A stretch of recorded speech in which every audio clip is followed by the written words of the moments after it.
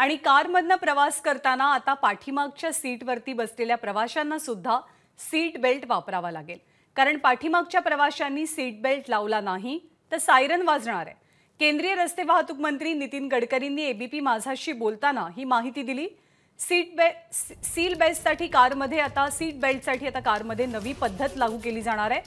ABP माझाशी त्यांनी exclusive संवाद साधला आणि अनेक महत्त्वाच्या घोषणा केल्या. विशेष करून सीट बेल्ट संदर्भात नितीन गडकरी काय म्हणाले ते आपण पाहूया.